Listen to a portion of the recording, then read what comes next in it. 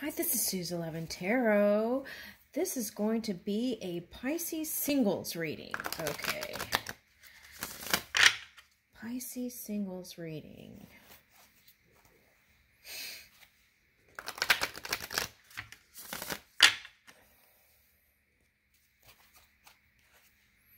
All right, so let's see what energies might be available here.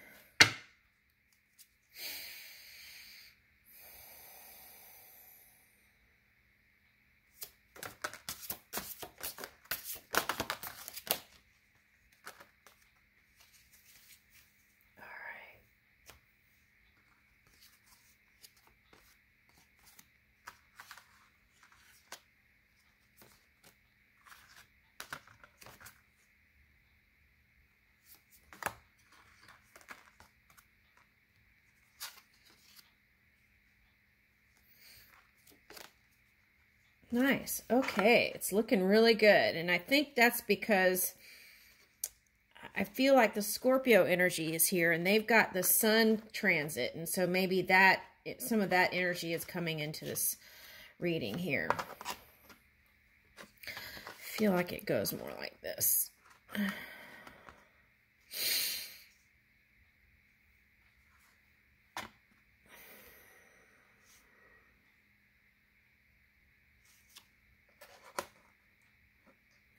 Goes there.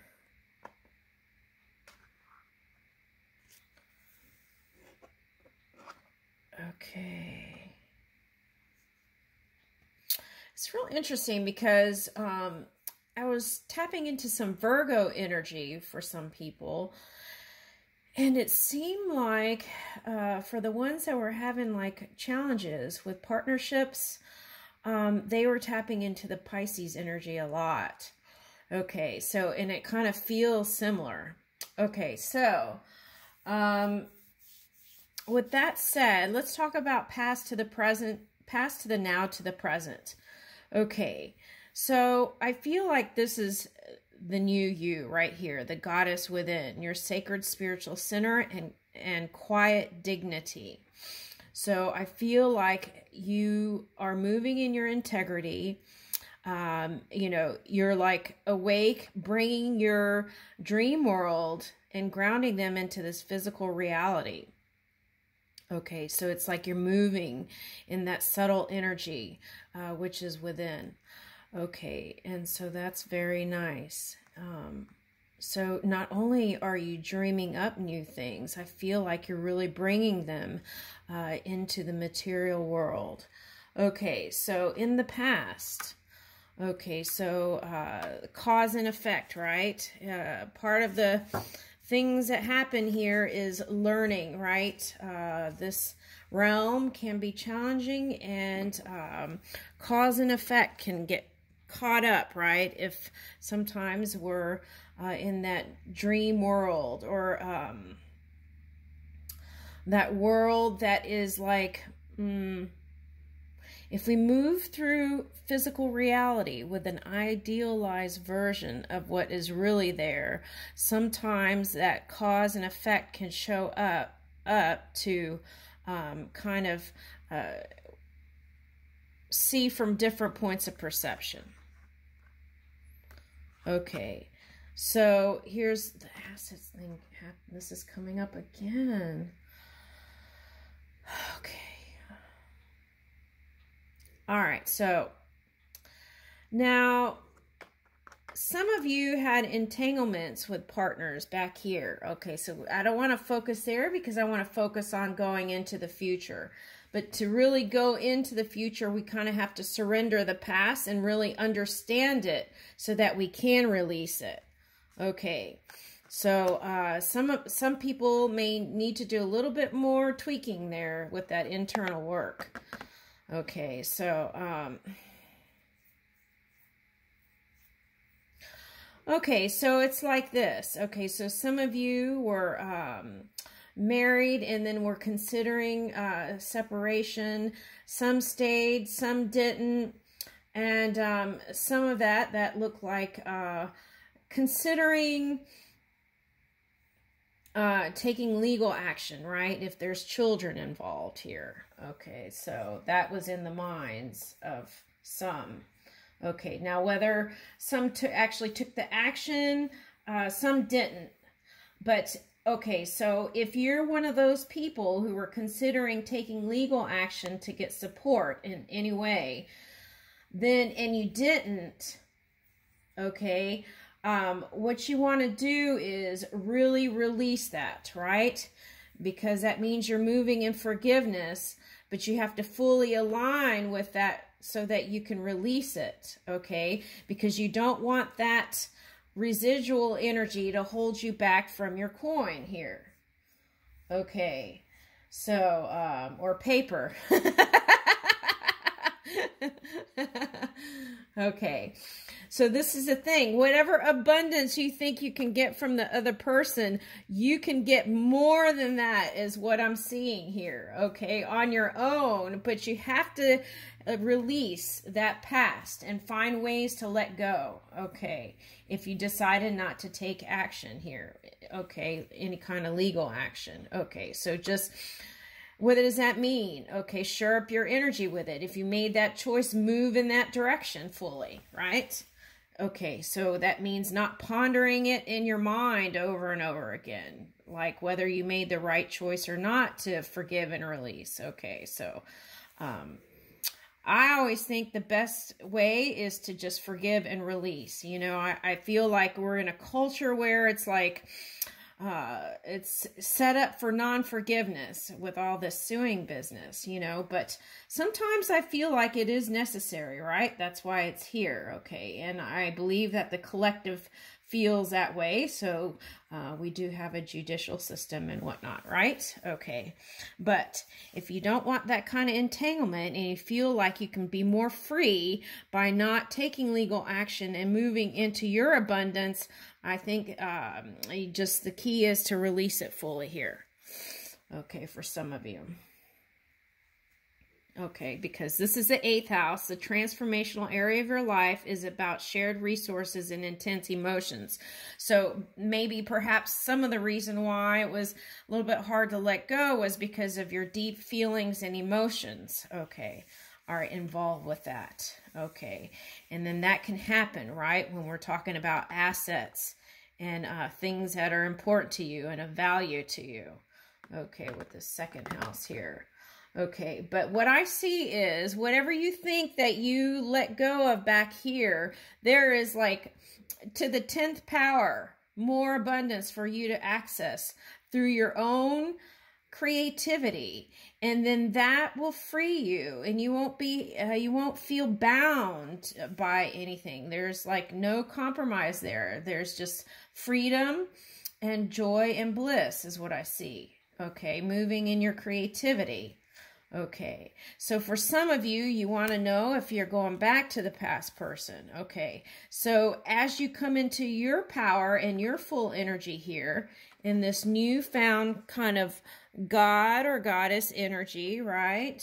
Okay, so um, with this, there is potential for that again with the past person.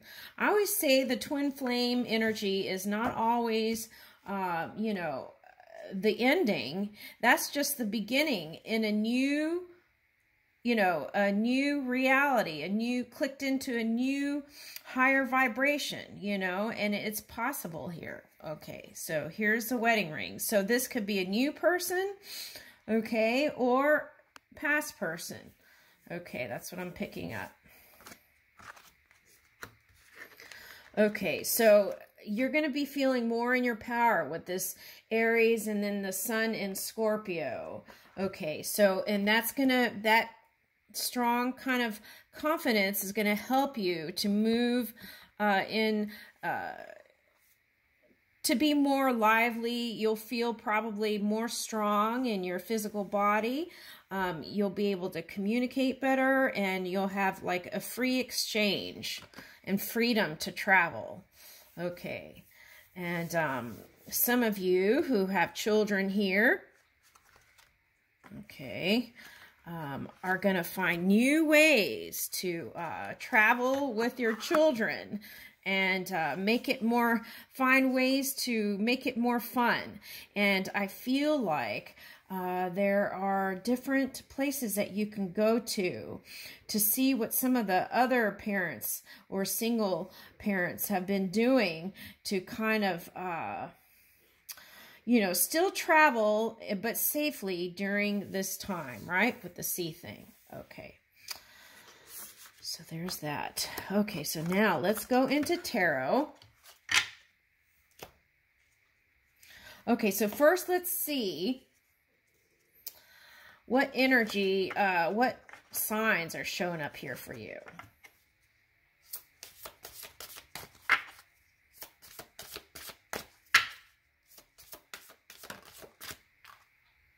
Gemini, okay. That's that twin energy. It's not necessarily, uh, it's not necessarily a Gemini, okay? But um, that is the possibility here. Okay, so now, interesting. Okay.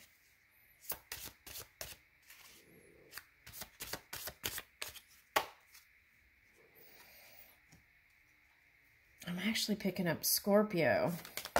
What's this? Virgo. Okay, Virgo showing up. That's what I was talking about. Like uh, when I was tapping into the Virgo energy, I was picking up their polar opposite energy, which is Pisces. So that could be that. Okay, this may not be a love interest. Okay. Now, if it is a love interest, what I want to say is, okay, so your polar opposite is Virgo.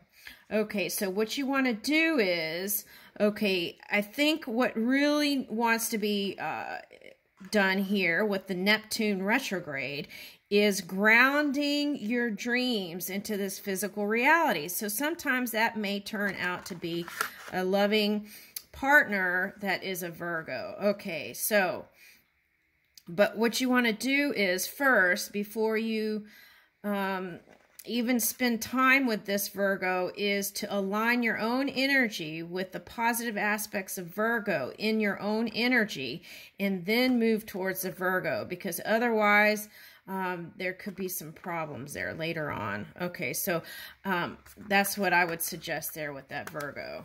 Okay.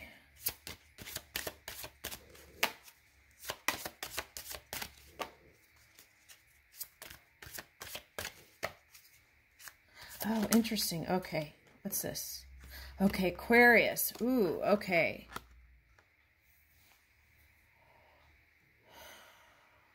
Okay, so again, align your rising sign with your sun sign.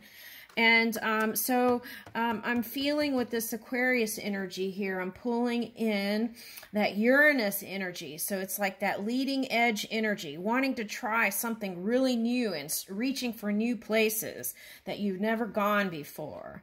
Okay. Some of you, that might be like, um, you know, um, being a leader for a certain cause or something like that. Okay, but what I'm really feeling is energy of wanting to try something new, something different that no one's tried before. Okay, with this new confidence coming in. Okay, so um, the key to that is moderation with this Libra card coming out, right? Okay, so it's like not getting too puffed up, being humble, but still being in your power and moving forward. Okay, so, um, okay, so Cancer is showing up. Okay. So Cancer is a nice combination for you because uh, of the emotional nature of Cancer. And you have a deep, compassionate understanding, okay, of your watery nature. Okay. So for some of you, maybe that was like this kind of twin energy. Okay, so how to raise that is to raise your own frequency or raise your own vibration. Because actually your natural state just be the the natural you. That's your high frequency. Okay. All right. So there's that. Some of you will be going towards a libra in the future. All right. So now and what i think you like about the libra for some of you is that they move in like uh, in the idealized version of reality. So it's like keeping it real, right? Okay. it's like, uh, so it's like witty humor um, and being more realistic. And um, all right, so um, maybe with that Neptune retrograde, that energy would be more comfortable for you. Okay, uh, now, okay, so uh, let's see. Okay, so those are the signs. Okay, now let's go into tarot. Oh, first let's pick these. Okay, rain.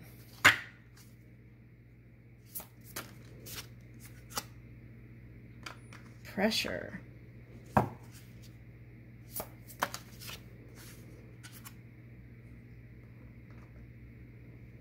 Hmm, I actually think it goes this way, yeah. Well, yeah, it could. this could be interchangeable here, like this. Okay, so let's bring this up a little bit more. Okay, so the bushfires. Okay, so for me, this card is like purification, right? So that could be like the twin flame energy, burning it up, right? And then bringing in the spring energy to, it's like a renewal here. Okay, and what's interesting is this, this uh, lady is part tree. And it, that is what represents like the Neptune retrograde right now. It's like bringing that grounding into the dream, from the dream world into this reality and having an abundant spring-like beginning now. Okay, and I feel like that is beautiful. Okay, so, all right, here we go. Pressure.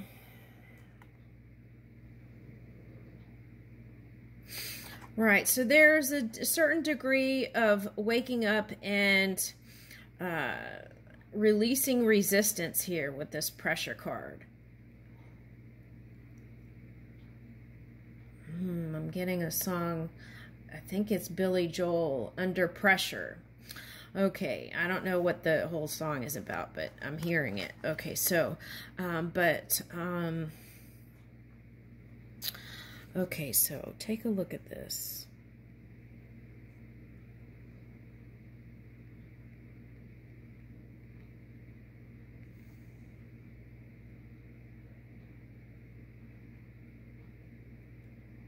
What I see this as is the stream that is you, that pure positive stream, right?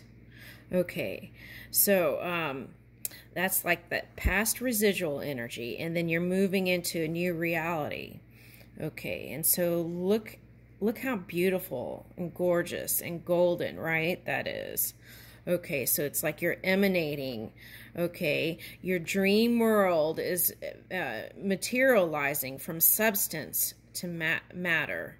Okay, so it's coming together. So the key is Okay, release what you need to, to release that resistance to fully merge, okay, in this physical reality with your new creations.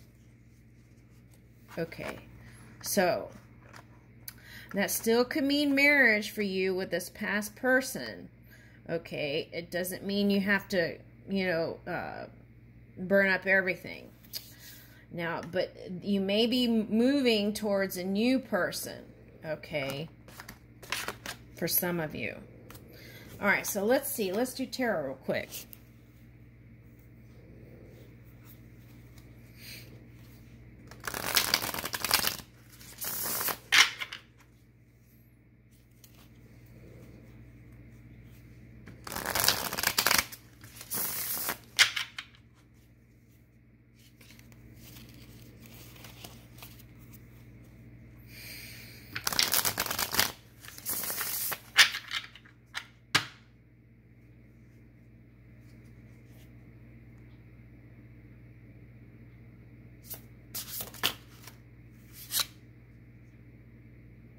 Eight of Cups.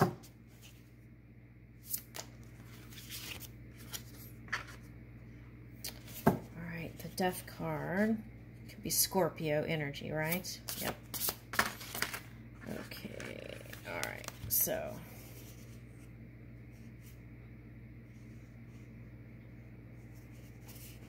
All right, so let's talk about this for a minute.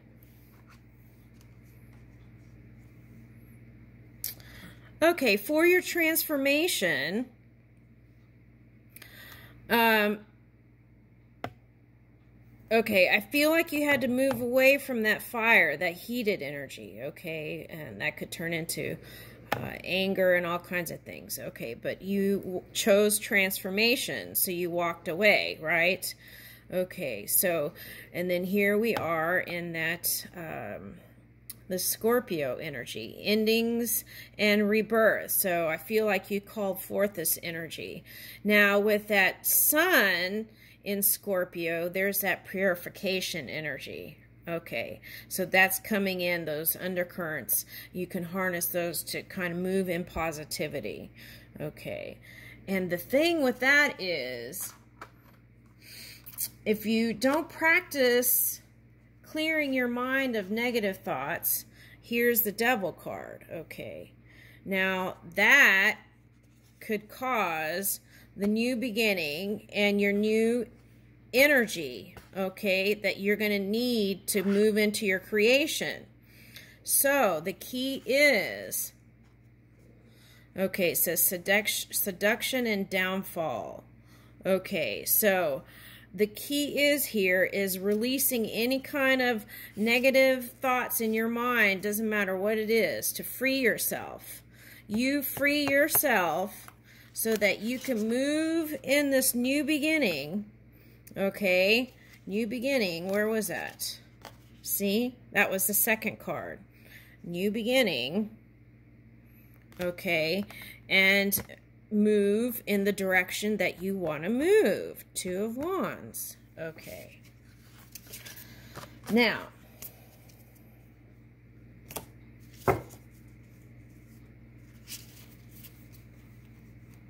some of you may partner with a Scorpio. All right. All right, now we have Queen of Pentacles. What is this? Four Swords reversed. Okay, that's progress. And Seven of Pentacles. Okay, so here we are in the Queen of Pentacles, and I feel like that's you wanting to improve your uh, financial status, okay, and um, and be compensated in a way. So, um, again, like I, I said here,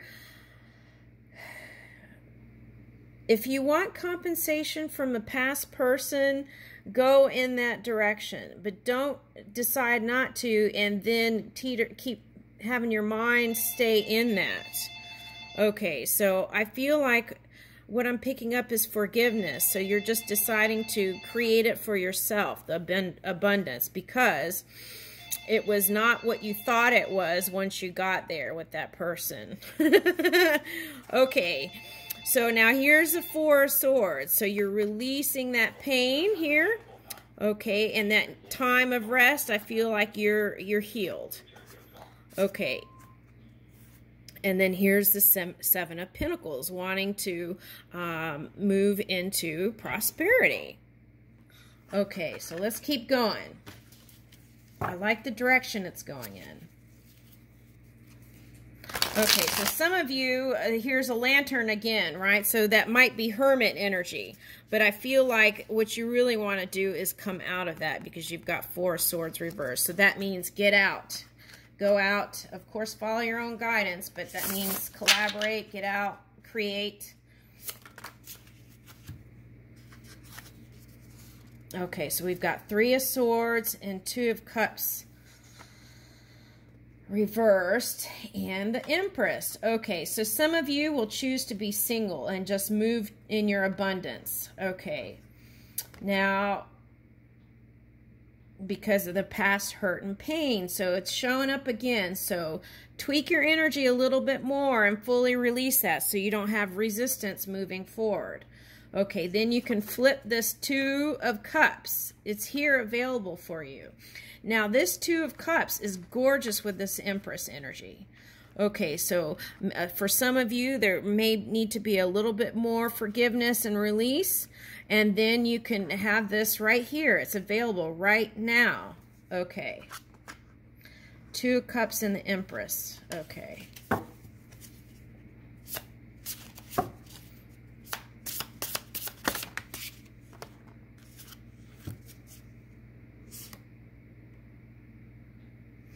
Okay, we've got the Knight of Wands and the King of Pentacles. Okay, so for some of you, if you saw your past person as a player type, um, I feel like um, he's going to be more or she's going to be more, um, what's the word? Cooperative. It's going to be more co cooperative with you this time. Okay, because I feel like the lessons were learned here. Okay, so there's going to be more peace and more harmony. And also, through this lesson, there on both sides, there is a learning how to manage anger. Okay, so that's nice. That's very nice. All right.